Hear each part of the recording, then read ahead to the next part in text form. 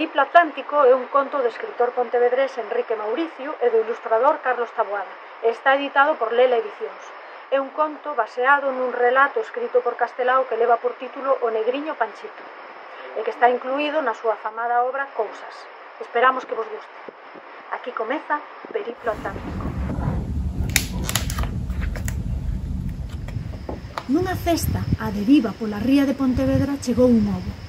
A casca rompeu e do ovo saiu Panchito. Panchito era un pingüín.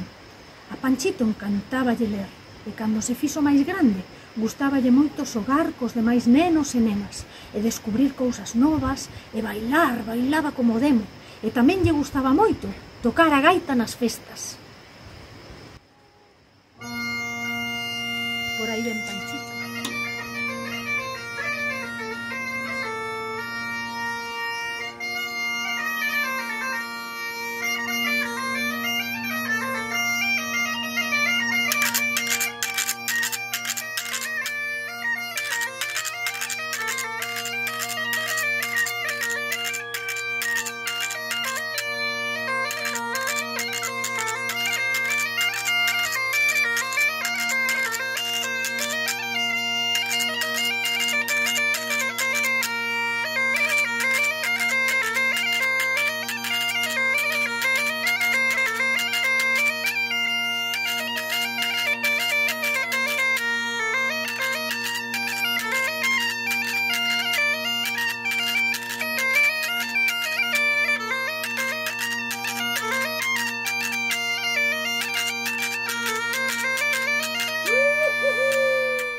máis panchito descubriu que era un pingüín. E os pingüins viven no Polo Sur. Foi así como Panchito, que ao igual que os demais rapaces da vila devesía por andar o mundo, decidiu marchar. Vou a Antártida, o lugar de onde son. O peirao estaba ateigado de xente que marchaba para traballar moi lonxe. Ali Panchito decatouse dunha cousa non tiña cartos abondo para pagar o billete. E sentou. Ficou moi, moi triste. De socato, todo cambiou. Albiscou un oco nun barco que tiña un nome debuxado. Antártida.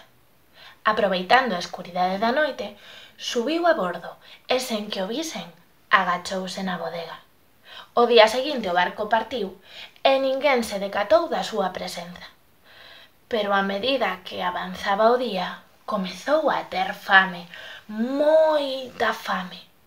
Pola noite, cando xa non puido máis, saiu as agachadas e papou todo o que Gregorio, o cociñeiro, preparara para os mariñeiros xantaren o día seguinte. Anoxáronse moitísimo. E así, varias noites, ata que un día... Alto aí, galopín!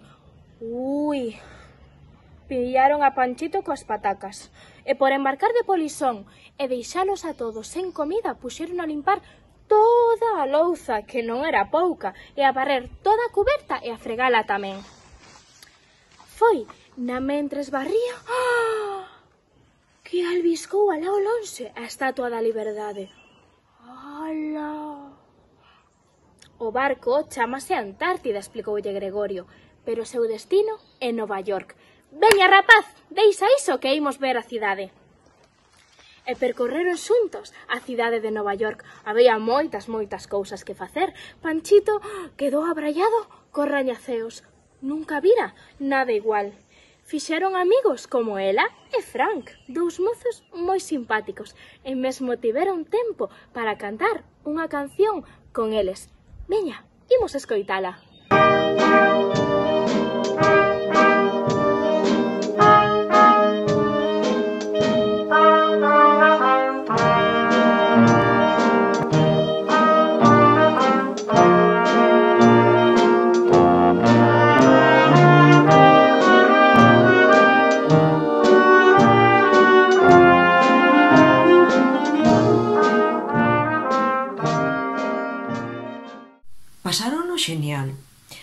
lles quedaba moito camiño por percorrer.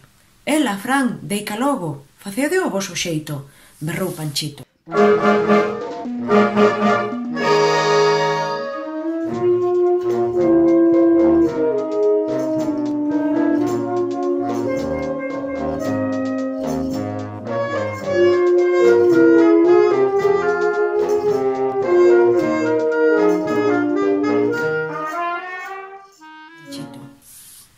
Habana bailaron polas rúas o que quixeron. E Panchito xugou xadrez con Raúl e Capa Blanca. Estivo a piques de facer tabuas. En Río de Xaneiro coñeceu a Vinicius, que quería escribir unha canción. Deixate levar, aconselloulle Panchito. Repara na beleza da vida que pasa por diante. En Montevideo xogou a pelota con Odulio Varela. Preparábase para un mundial e conversou con Juana de Ibarburo, falaron de poesía galega ollando para os charcos da rúa e recitaron xuntos uns poemas de Rosalía de Castro. Daquelas que cantan as pombas e as flores todos din que teñen alma de muller. Pois eu que nas canto virse da paloma, ai, de que a terei? Ben sei que non hai nada novo en baixo do ceo, que antes outros pensaron as cousas que ora eu penso. E ben, para que escribo? E ben, porque así semos, relox que repetimos eternamente o mesmo. Tal como as nubes que impele o vento, e agora asombran e agora alegran os espasos inmensos do ceo. Así as ideas locas que eu teño, as imaxes de múltiples formas, de estranas feituras, de cores incertos, agora asombran, agora aclaran o fondo sin fondo do meu pensamento en Bos Aires, asistiu a unha charla que deu Castelao no Café Tortoni. Moitos riron coas súas anécdotas. Había moitos galegos e galegas ali. Estaba Maruja Mayo, unha pintora moi importante, e tamén poetas, editores, cantantes. Mirad, estaba Eduardo Blanco Amor, Rafael Dieste, Julio Cortázar, Lorenzo Varela... Uf, moitísimos. Panchito tomou un chocolate e logo asistiu a un espectáculo de tango Escoitando aquelas cancións pasou no señal. E agora sabes onde imos? Preguntou Gregorio.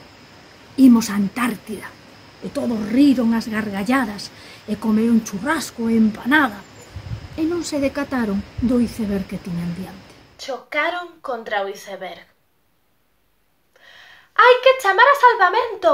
berraba Gregorio. Afundimos! E isto está teigado de queñas. E, e ademais, Vai moito frío, voceaban os mariñeiros. Unha quenlla ía cara a Gregorio. Ata que... Eh! Bailarín bailaroco! Alguén berraba. Era Panchito! Berraba para salvar o seu amigo. A quenlla alporizouse e foi cara a el. Panchito detívose. El iscou no momento exacto para que a Kenya se esnafrase contra o iceberg. A Kenya marchou e xa non quiso saber nada máis deles. Mirade, ali chega a lancha de salvamento, berraban os mariñeiros. Moitas grazas, amigo, dixolle. Aquela lancha estaba capitaneada por Tina, un pingüín femia, e Panchito e Tina namoraron inmediatamente. Mentres, os mariñeiros tomaban un chocolate quente e rían a cachón. Panchito quedou na Antártida, mentres os seus compañeiros marcharon noutro barco. Un día atopou por ali a unha científica galega que estaba traballando na Antártida e confesoulle, a min, pásame igual que a ti, non tolero este frío. De bezo por volver a Galicia, a unha carballeira a tocar a gaita e ceibar a turusos. Voto de menos o meu fogar. Eu son un pingüín galego. Eu sempre quixen coñecer Galicia, confesoulle Tina encantaríame ir alá. E fixeron unha festa enorme a que asistiron todos e houbo baile e de todo. Incluso houbo un intre no que prometeron que ian estar sempre xuntos. E unha promesa feita baixo un carballo non se rompe nunca, é para sempre. E así, Panchita e Tina viviron cun pena Antártida e outro en Galicia.